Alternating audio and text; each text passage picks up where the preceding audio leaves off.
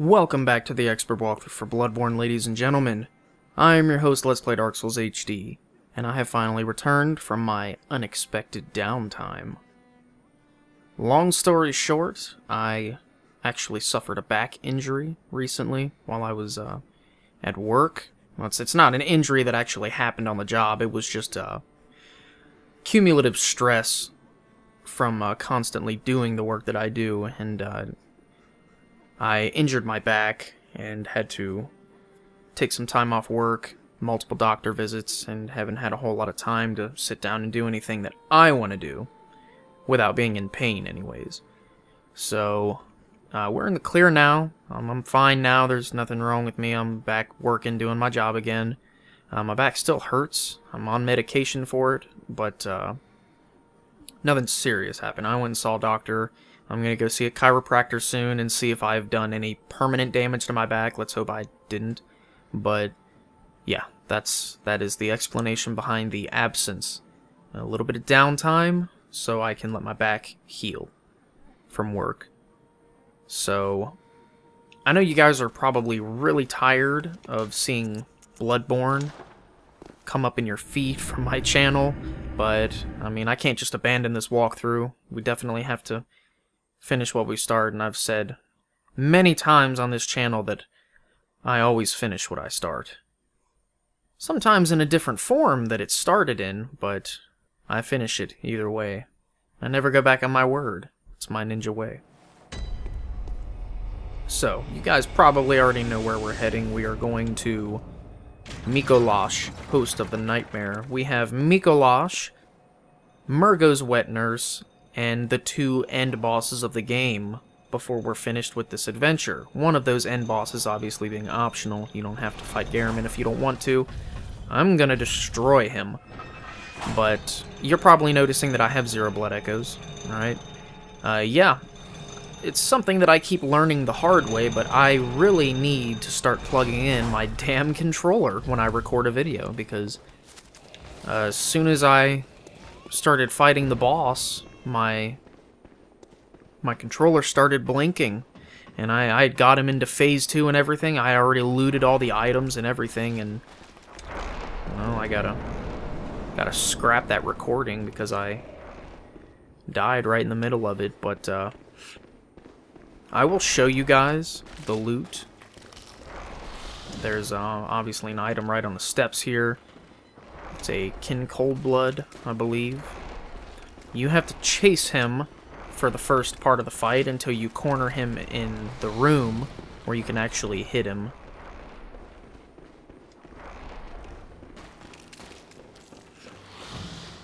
And what I typically do during this fight is I mute him. I mute the voice setting in the options and turn off the subtitles because I hate it when he talks during the boss fight, but, I mean, it's, you know, it's whatever.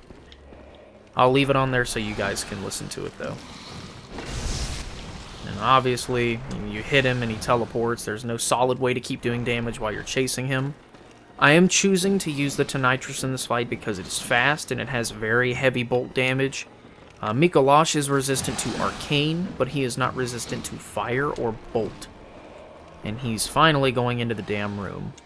So you're going to notice a pattern. Every time you corner him and he goes into a room, there's going to be two minions the only attack that he can perform right now... Ugh, watch out for those things. I hate that poise is not a thing in this game. But, uh, obviously is destroying these guys in two hits and they're done. But he can only use Augur of Ebrietas in this form. He can't do anything else other than a fist attack, which he does very rarely. So once he does that, you can really lay it into him. But he reacts like that. He will use the Augur of Ebrietas right as you start attacking him, so make sure you don't get greedy. Leave yourself with enough stamina to get away after you do your string of attacks, like one, two, three, four, and that's barely enough for me to dash away. If I hit him five times, I'm going to get hit in the face with that. And since he's pure arcane, it's probably going to do like half my health. I mean, you can charge attack him since he doesn't really dodge. And you can R1 spam him, whatever you want. Now he's going to go into the second phase of the fight, where he develops a second attack, a whole new attack. It is an attack that officially makes him dangerous. He is uh, capable of doing a call beyond now, and he, yeah, he's still going to have minions in the room with him.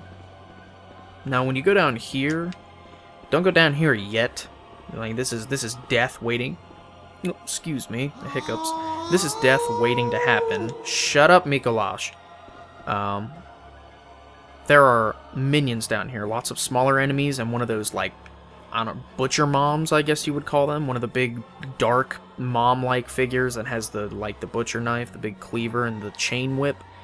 There are a bunch of those down there. I don't recommend going down there, but there will be a scrambler right here on the stairs. And uh, I would recommend smashing the scrambler before it goes too far down. And because it drops three bloodstone chunks. Now, when you go up, there's an item right here. This is going to be blood vials. Got a couple enemies down here, but they are squishy. This enemy right here fires poison bolts with the crossbow. We have already run into them once. Yeah, he talks like that across the whole boss fight. It's kind of annoying. And he's right up there.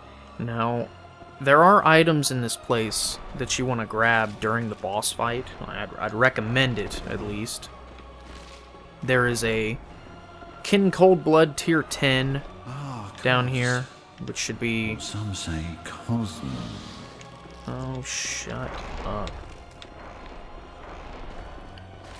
Yeah, I know there's a corpse right here with the iron door key. We will use that after the boss fight. And then right here on this corpse is where the uh, the tier 10 kin cold blood is. That's that's a big item. You want that. That's a lot of blood oh, that goes. Of course.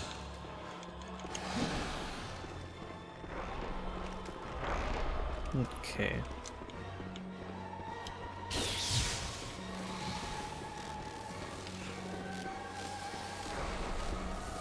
Alright, when you follow him in here, he can go through the mirrors, which is extremely cheap, but I mean, whatever. Uh, there are quicksilver bullets on this corpse right here.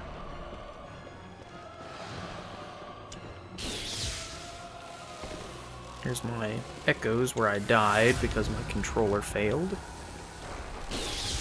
Ah, Kos. Or some say Kosm. Some say shut the fuck up. He's probably gonna run into this room. No, no? Okay. Since he only runs away, as far as I'm concerned, the only dialogue he should have is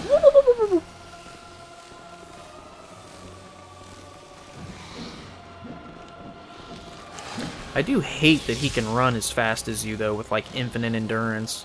Like, I mean, sometimes you straight up can't catch him.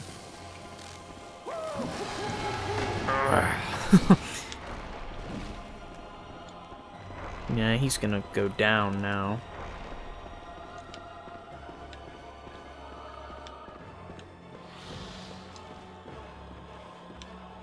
Yeah, and they, like this, he originally jumps down there, and what you can do is, since I'm not really using my Quicksilver bullets right now... What? Oh, I can't use the cannon either, that's right. Damn, that's annoying. I don't have the strength for it. Hmm.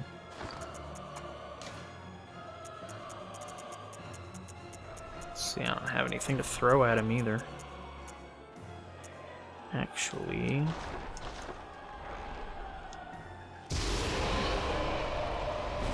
Yeah!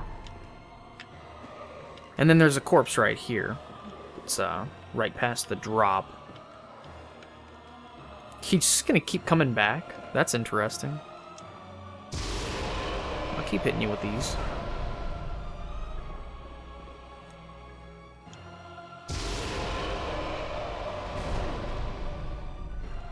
Free damage. It only costs three.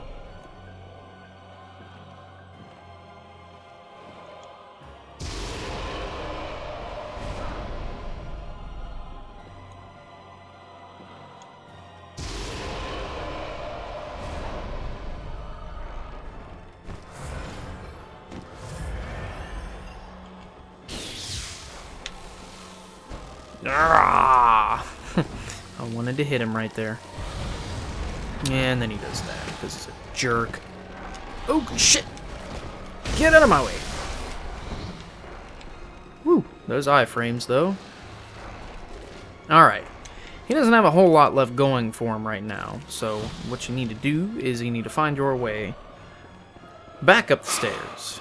Again. Ah, shut up! Shut up! Chatting into the wee hours of new ideas. That is the original way in. Shut up. I hate hearing him talk so much. Okay, this is where you need to go. Need to find the other break in the stairs, and yes, obviously. Yes! I never land that. There's a call beyond. Timing, timing. That's all it is. Do not dodge too late. Do not dodge too early. Boom! It's all in the timing. Practice, practice. Corner him if you can. And then, obviously, he has a punch attack, which is kind of annoying. And gadoosh! Ah, that was a little too late.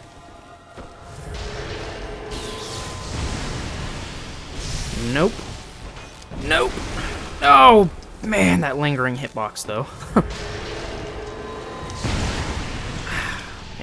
especially if you're too close, to. That attack is extremely frustrating. Ah.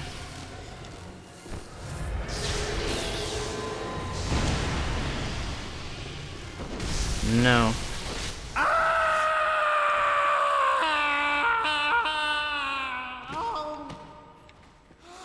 Okay. Now what you can do... Yeah, that's tragic. But what you can do to make that very last part a little more doable is uh, that cage you see us standing in front of.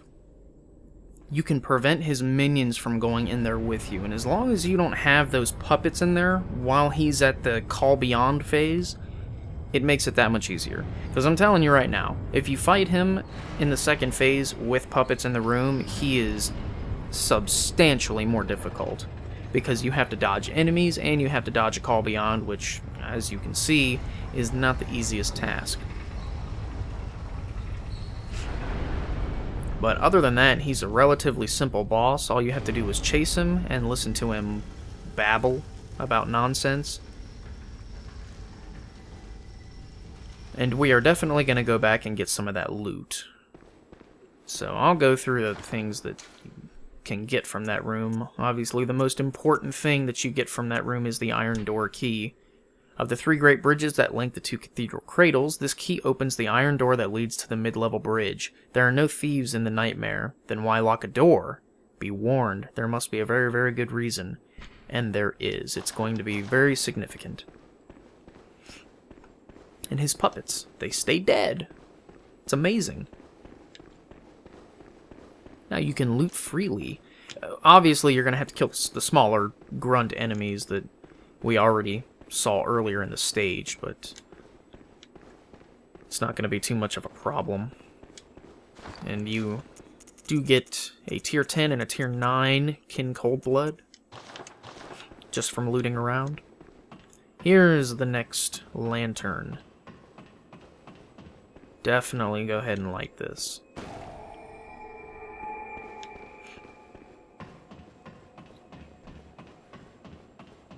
This feels weird. Like, just even having the controller in my hand playing this game feels weird. Because I haven't touched a video game in, since I last uploaded this, other than, well, that's a lie. Uh, the only game that I have touched since my last upload on my channel is I did buy Salt and Sanctuary on the PlayStation Store. I would highly recommend you guys buy that game. And I find it really hard to believe that anybody watching my videos doesn't know what Salt and Sanctuary is. Because, I mean, it's kind of a big deal. It's like the, the ultimate 2D side-scroller Souls game that had so much potential. And it was created by a developed team of two. Just a guy and his wife are the ones that made it. And I do not want deadly poison, neither do you.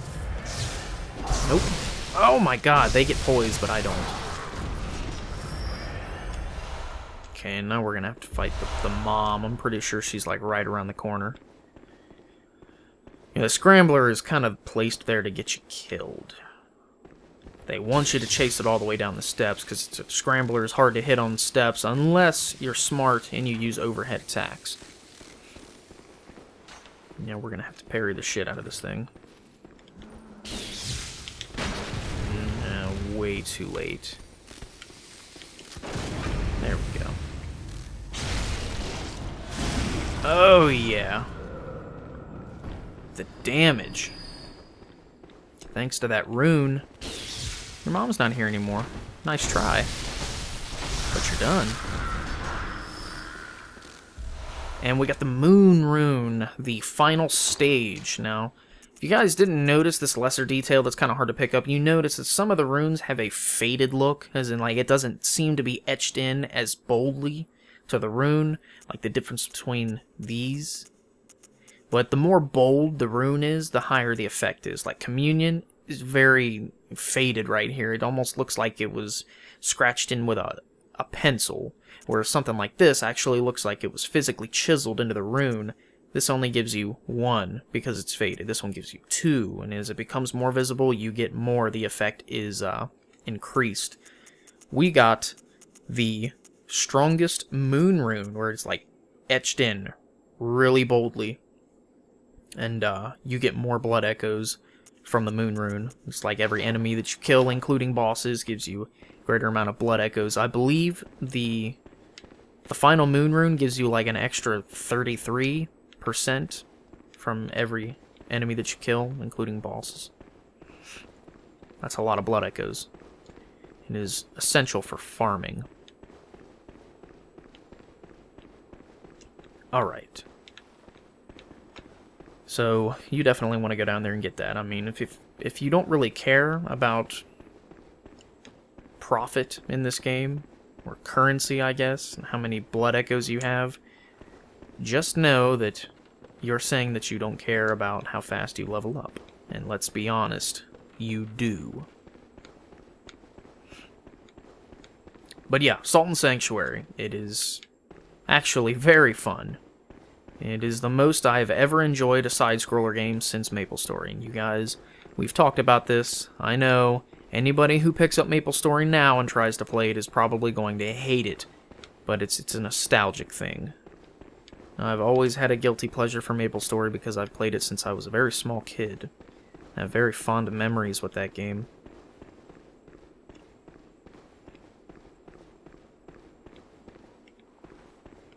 Okay, I think we're good. I always scour the place one more time to make sure I didn't miss anything because I can't be 100% sure that I picked up every single item during that first attempt. I just know that I got most of them. Yeah, what we need to do now is we need to go back and level up.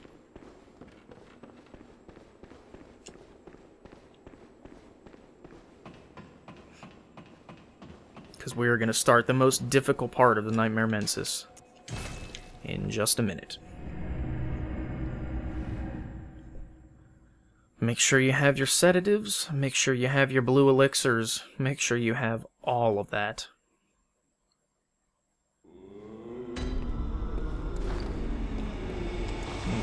Okay, let me use my kin cold bloods.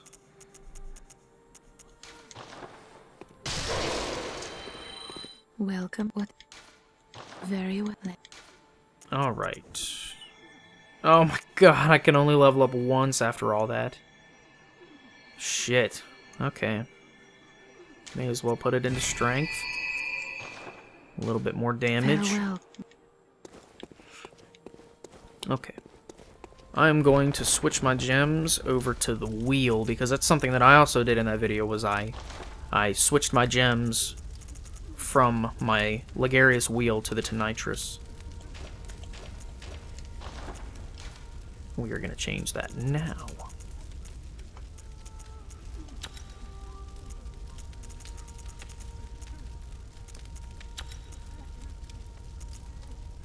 Oh man, that damage boost.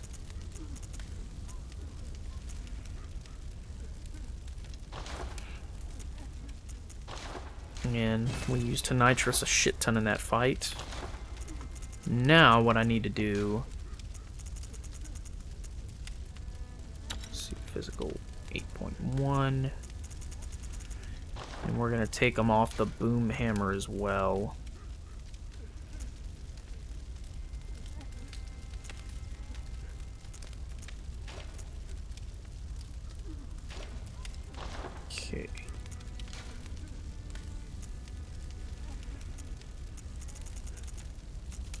We'll do it like this.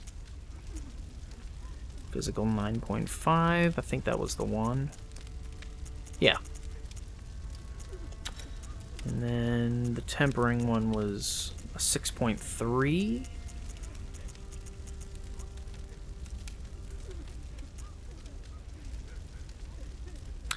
Um, I do not want that on my Tonitrus. Not worth.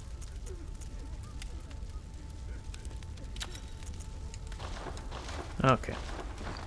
Let's see what we're rocking right now. Yeah, that's that's not bad. We've got... Well, no, that's terrible. I need to see what the Logarius wheel is going to be.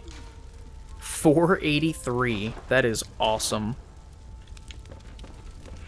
That's not even its final form. And we need to buy stuff.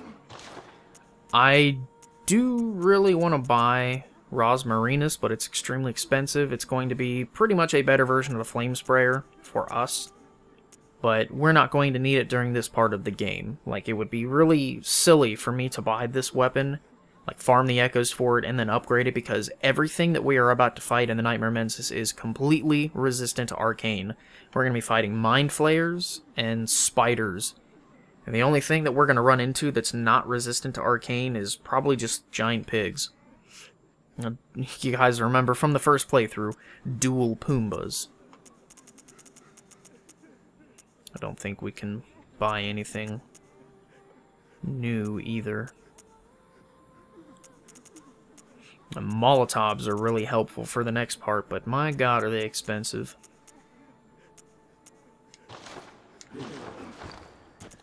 Okay, equip our pebbles. Where they be? There they are. Okay, I don't need that. Call beyond. I want to be able to use it, but I don't have quite enough yet. Switch it out for blue elixir. Definitely don't need that. We need sedatives. For sure. That thing is costly. We're going to swap that out for a different ability. Uh, not that, though.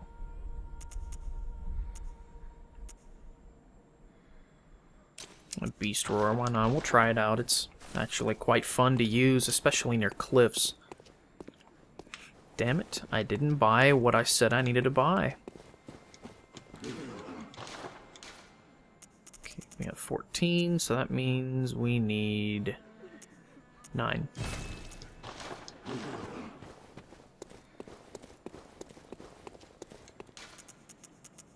Okay.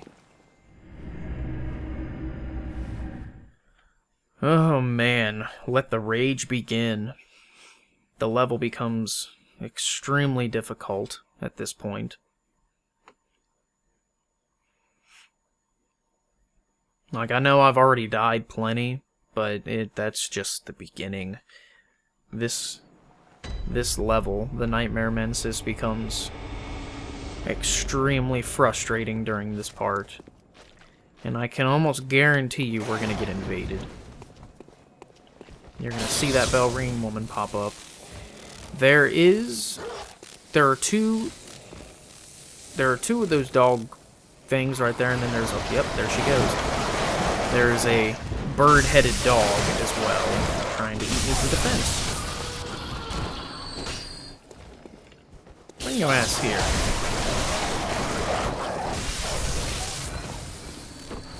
Yep, there it goes. I might have to switch to offline.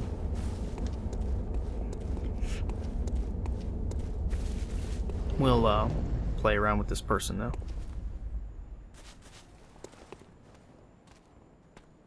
Please don't be a scrub.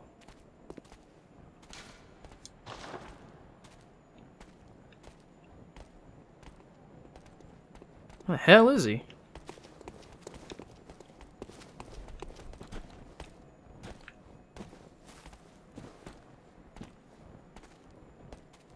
There he is.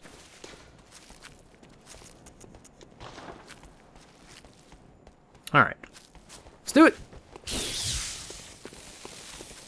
Oh, come on! You're...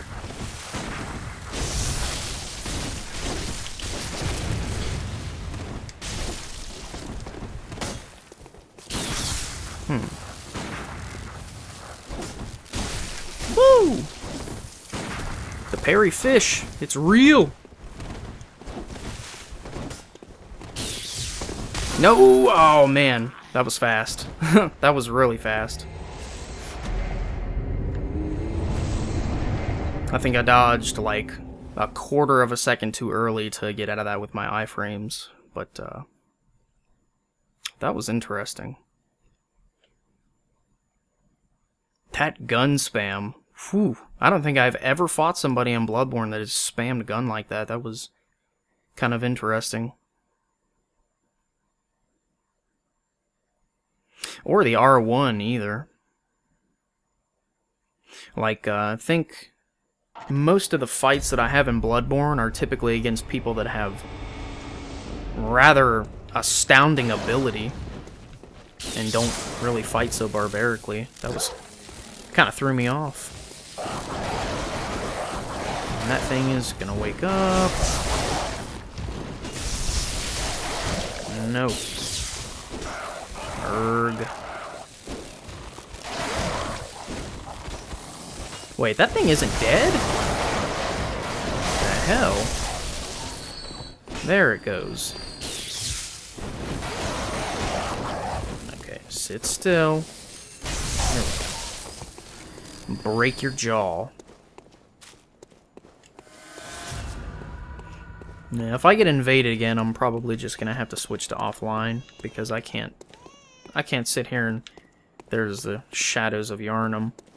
I can't sit here and mess with invaders like this. Okay, I'm gonna activate that real quick. And then this doesn't operate because this is the shortcut that takes you directly up to the boss. And the reason people invade here is literally because of that, right there. If they start to lose, they can run back there and use Shadows of Yharnam against you, as well as Giant Pigs. It is extremely asshole to invade here, because as an invader in this game, I can understand why people would want to use enemies against you, because obviously you get a like a, a health reduction when you invade, which is stupid. I don't know what FromSoft was thinking, I don't know why they would make that a thing at all, but there is a health reduction when you invade in this game, just like there's a health reduction when you are a helpful Phantom. And this jump is like super fucked up hard to make. I'm surprised I did it on the first try. That was disturbing.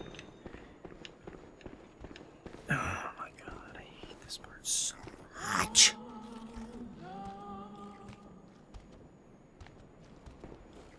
And I'm gonna get invaded during this part, just watch. Okay. There it is. Wait until it goes around the corner. Blue elixir, why not? Oh, now it doesn't want to do the glitch. That's interesting. Now, they have to physically have eyes on you to be able to frenzy you. And that is a fact. Like, I mean, every second that you are behind this wall and it can't see you, you can't be frenzied. Like, I mean, the, the frenzy bar may still build. Like that. God. Nope. No, no, no, no, Oh my god, I used it. Look, it even went down from 9 from 10 to 9. I totally used it and it didn't work. Wow. Now that was dirty, Bloodborne. You cannot... No. There's no way. You cannot count that the item was used and then not actually give me the effect of the item. That was dirty. Okay, fine. Fine. I'm gonna have... I, I can't worry about getting invaded while I'm dealing with the stress of this fucking annoying level. Because this this entire level itself is already going to piss me off. I mean, I'm just, I'm mentally prepared for that. I knew that we were reaching this point in the game where I was just going to get extremely frustrated with Bloodborne, and this this whole level, like when you're every playthrough that you do in this game, this whole level feels like a chore for me. It feels like I have to force myself to play this level, and at no point in this, level, I mean, from the instant you see Nightmare Mensis pop up on that screen and those big white letters, I don't enjoy one ounce of this game from that step to the end. Yeah, Bloodborne is officially going to make my blood boil until Mergo's Wet Nurse is dead.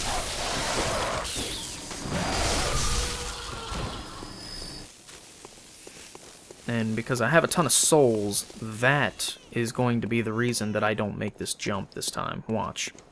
I'm just calling it now.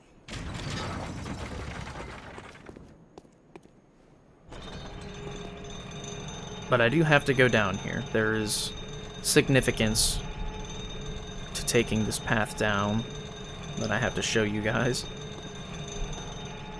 Oh my god, that was annoying. Like, you see, I had 10 sedatives, and it used the item. It physically consumed it, but it didn't give me the actual effect of the item. Like, that was totally fucked up. Oh, this game hates me.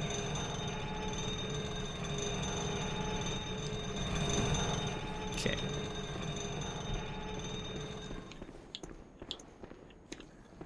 I don't know if the blue elixir made a difference right there, so I don't think I'm gonna use it again.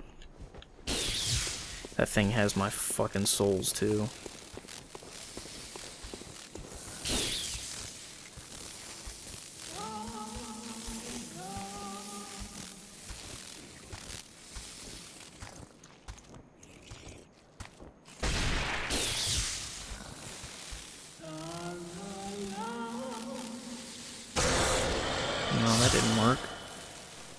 No.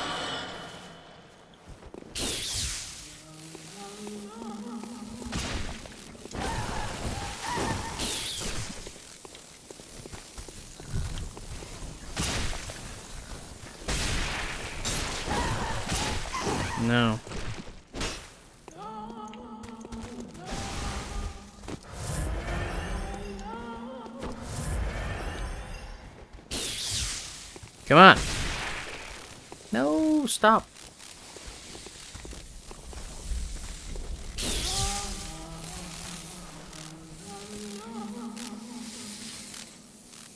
I wonder if I can knock her over. Looks like I can. Stop it. Stop it. She can't see me. Stop. Mm. Frenzy. I swear to God, Frenzy is the worst thing ever.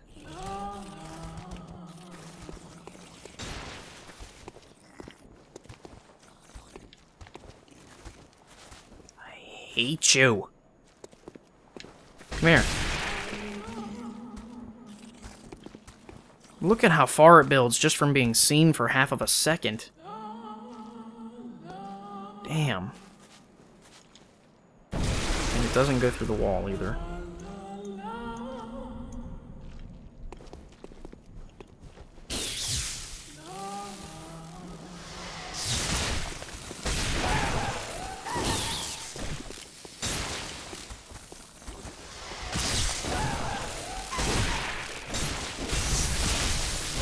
You need to get the fuck out of here. Use it! Use it! Thank you. God. that is a really good blood gemstone, by the way. Yeah, I know what you're thinking. Why don't you just run past it if it sucks? No, because of that. And we got a tier 11 Kin Cold Blood, too. Very, very good blood, blood echo item. There's two of them. Okay. Here's the good news about this part. These ones don't drop anything.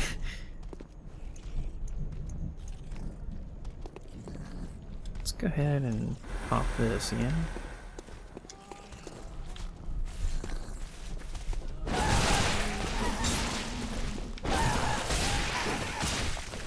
Yeah, this part is particularly awful.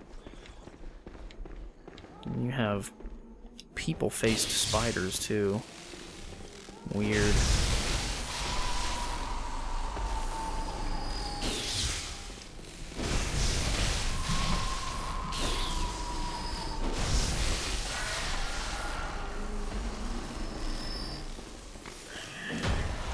Bullets!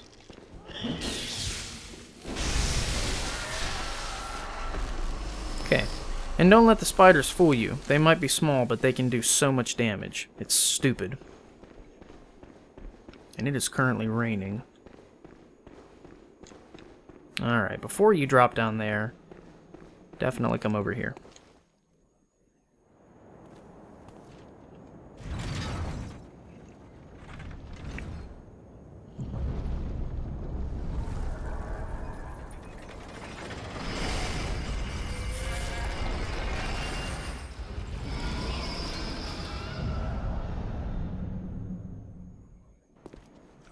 That may have looked really strange and random, but I promise it wasn't. And did that remind any of you guys of anything from Demon Souls, particularly? Okay. That fucking thing over there cannot see you if you're behind the pillars, which is nice. We have that to worry about, though. This is... This is kind of why I wanted Molotovs, so I could nail them. Spiders. Come on. Yes! Ow. No. No. No. No. Okay. So here's what we're gonna have to do. To go over here, fight this thing. No! No!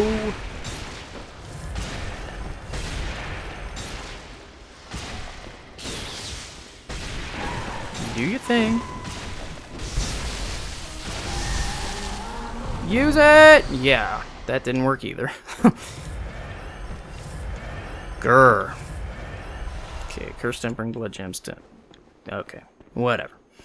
This particular item that's not going to be necessarily useful for us, the Choir Bell, is a rather important item for a lot of people, though.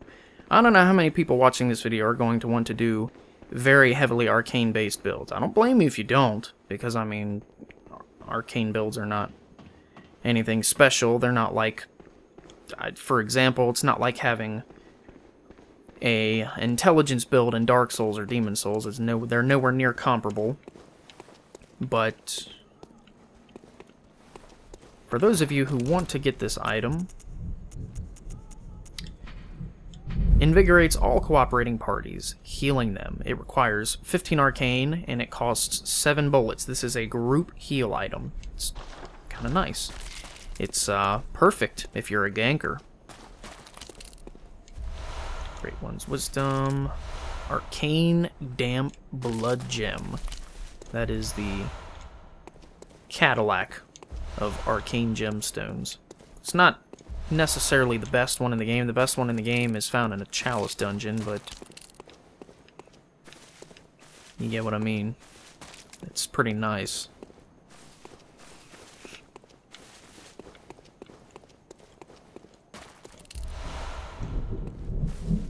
Man, that thunder, though, it is I really hope my power does not go out while I'm recording. That would be highly aggravating. Alright, and the other thing that we need to get here that is probably the most important thing in the entire level is down there. What I'm going to do, though, is I'm going to open this door first.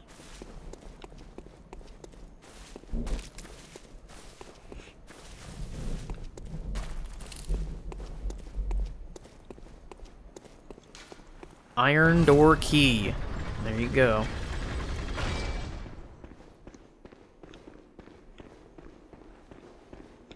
Okay, that is our shortcut. And this, if you guys recognize it, is where we fought uh, Micolash, host of the Nightmare. There's a reason that it brought us back here, too. We're going to want to come back here, not for those things. We are going to want to come back here, because that is where the cutscene took place. Where the big giant eyeball thing that looks kind of like the demon heart from Demon Souls in the Tower of Latria, that's where that thing fell, was back there in that general area.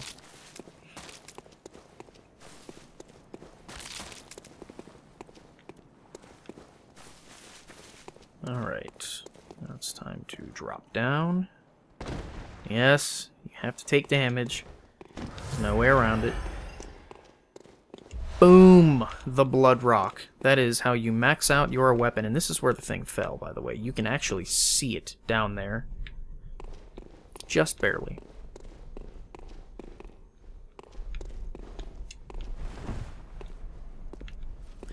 And this is going to take us to that general area. We're going to go destroy that thing. You are not hostile. I will not kill you. Most of these things are not hostile. Just when they choose to be.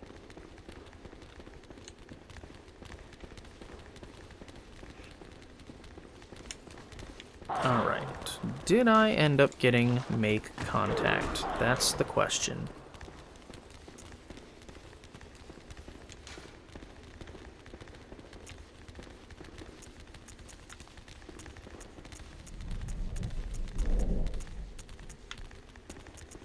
It not look like I did. Okay. I don't have make contact, which is fine. Whatever.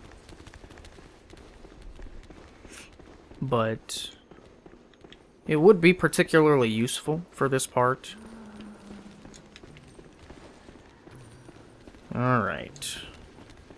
And then this cage has officially been lowered for us, too. This is something that is really easy to miss when you play this game.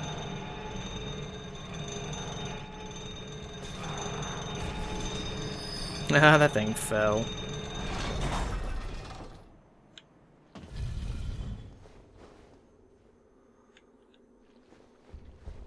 There you are. Okay, let's use our lantern. That's not doing shit. How about the torch? Do we have one? No, of course not. Well, you see this big bug-eyed freak. Has a big hand and everything. This is a great one, and you can see it follows us with its eye. It looks at us. It is indeed a great one. It Has many eyes and has lots of insight, you could say. If you use the make contact gesture in front of this thing and hold it, you will get another moon rune. I believe it's the tier 2 one, not the tier 3 one. But, yeah, you, the moon rune, and then you can kill it. There's no point in letting it live. This is probably going to take a while.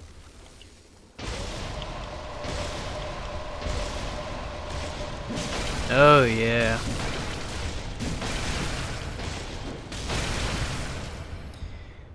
the regain effect, though.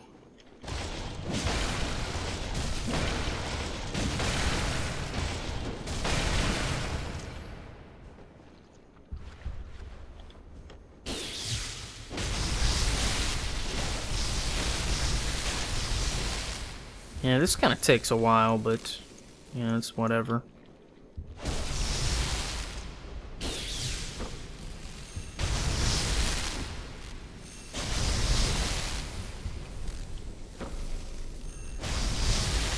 And 429 versus 535. It is definitely worth it to have that buff.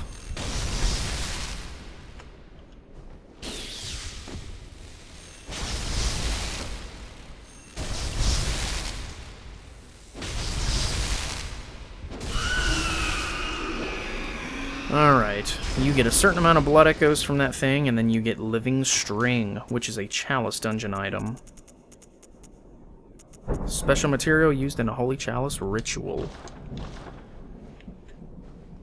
Damn, that thunder is getting really loud. Okay. And that is that whole entire part where the mind flayers and stuff are. Now we are going to have to head in the actual direction of, uh... These things gonna attack me. Let's use one of these just in case. Nice try. Uh, now we're gonna have to head in the actual direction where Shadows of Yharnam were walking, and once that that's gonna be a very short area. It's gonna be really quick.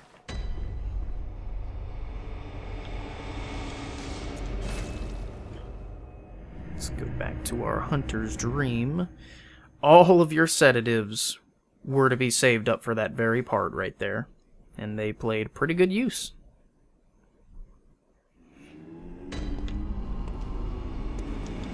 Sleepy.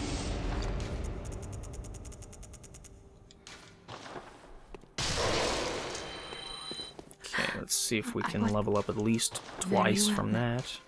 Once, again, damn. Okay. Let's get ourselves some vitality.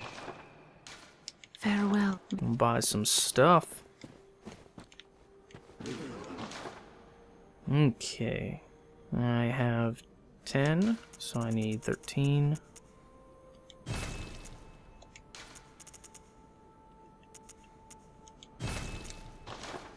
Alright. Oh yeah, and the moon runes actually stack. You can combine them, like as in have nothing but all three moon runes and get a shit ton of blood echoes. So, alright. That is going to do it for this one. And, uh, I do apologize again for the, the long pause of not uploading and not updating you guys or anything, but I've been having to go to multiple doctor visits and stuff, and it's it's been a little bit hectic. I didn't know that so much could go wrong from hurting your back. It was a learning experience for me, a painful one but I think I'm I think I'm good now. Um, I'm not going to wait two months to upload again. I am definitely going to have this walkthrough finished before Dark Souls 3 comes out. And since I'm not uploading my first playthrough of Dark Souls, I can probably be a little bit more active with you guys, and uh, I'll, I'll be willing to actually play it with you guys. So, when Dark Souls 3 comes out, Mm, the expert walkthrough is not going to happen a month or two months or whatever after the game comes out. It's not going to be like that. It's probably going to take a while. This expert walkthrough was kind of rushed. I, I tried to start this expert walkthrough fairly soon after the game came out, and uh, yeah, it's been a little jumbled. But Dark Souls 3, I'm going to take my time and do a lot of research, and I'm going to beat the game a lot, many times, and I'll probably create live stream events out of that and PvP tournaments and stuff, and it's, going to be a blast. So that's going to do it for this one. In the next video, we are going to proceed up to Mergo's Wet Nurse, which is the next boss. It is probably second favorite boss in the game. Very cool moveset, very cool, just like Diablo feel to it. And uh, after that, we're going to be able to beat the game and do the last two bosses, and then it'll be finished. So the next video could quite possibly be the last one. Maybe. Maybe not. We'll see. So, thank you guys so much for watching as always. I have been your faithful host, Let's Play Dark Souls HD, and I will catch all of you in the next video.